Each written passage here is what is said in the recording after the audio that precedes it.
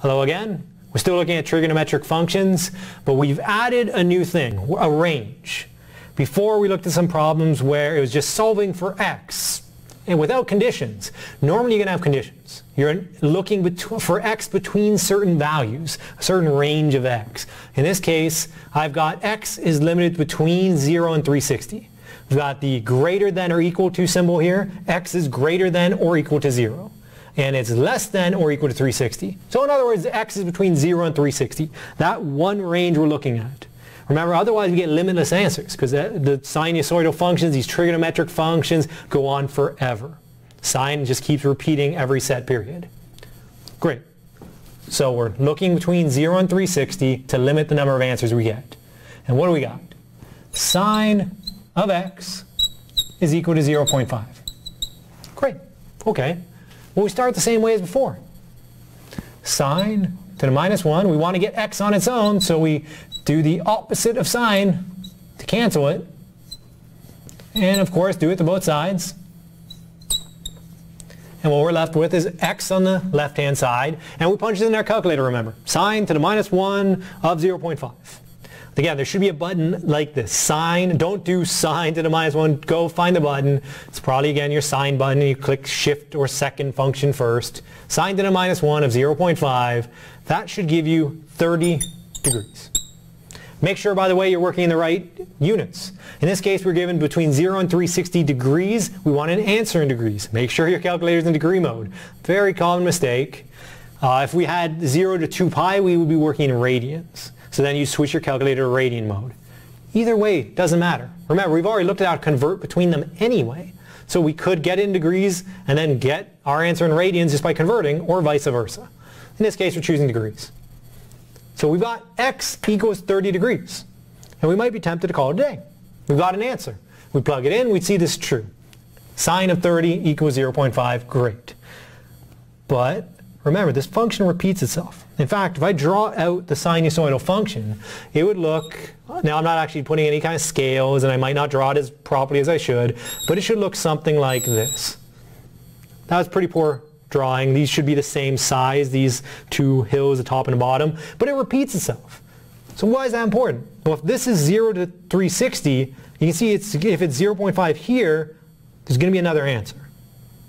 So often we'll find there's two answers. In the previous case, when you're solving for, say, 1, well, there's only going to be one answer in the first range.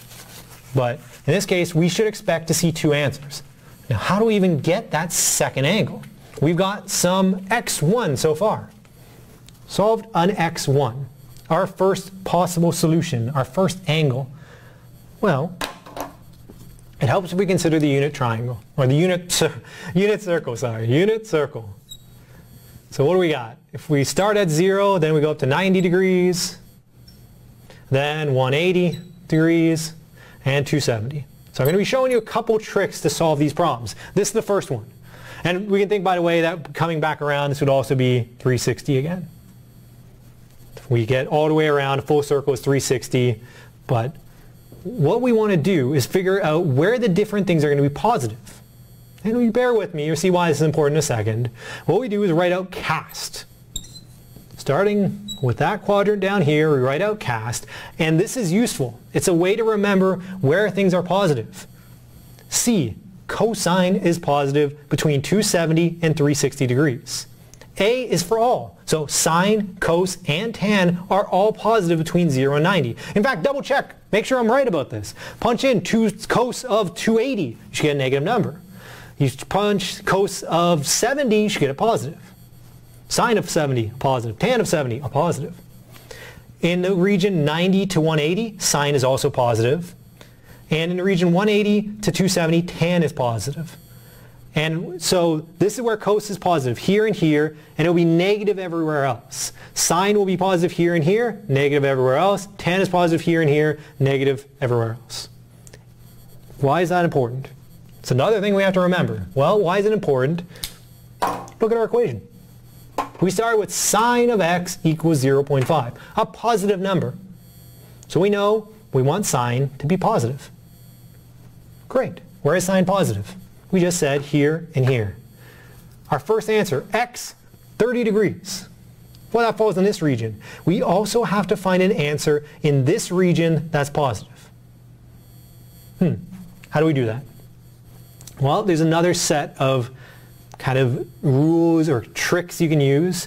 Whenever you're going, you have some initial x1, some initial angle. To solve the other angle, there's three cases we consider. Three possible cases. What we might have is, say, an x2 is equal to x1 plus 180, or x2 equals 180 minus x1, or we might have x2 equals 360 minus x1. These three cases, we apply them, one of these will get us our other answer. Great, but how do you know which one of these to consider?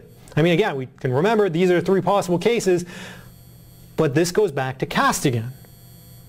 We want to get an answer in this region. We just saw the first answer we got was in this region. We want the second one to be in this region because we want need sine to be positive. Just looking at the initial value. Sine was positive. We need sine to be positive. Our answer must be between 90 and 180, our second one, if there is a second one that exists. So we look at these three cases. Which one would work out? 30 plus 180.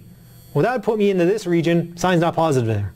360 minus 30, 330 puts me here. Sine's not positive. 30 or 180 minus 30. Oh, that's 150. That puts me in the right area. And now I'm done, basically. What I do is go check my calculator. I would see, well, 150. Sine of 150. What is that? Sure enough, we'd get 0.5. So we would see another solution is x equals 150. It's a little tricky, I know it seems pretty involved. There is quite a few steps, but this is the basic method we're going to use anytime we have sine or cos or tan equals to something. We get our first answer just from the calculator. Remember, we literally had our calculator solve this for us. Or if you knew it, you could solve it in your head potentially, but punch it in your calculator, get the first answer, and then use this kind of analysis to figure out the other. If I was trying to get into this quadrant, I would use the plus 180. If I was trying to get into this quadrant, I'd use 360 minus my first answer. And we will look at some other cases later.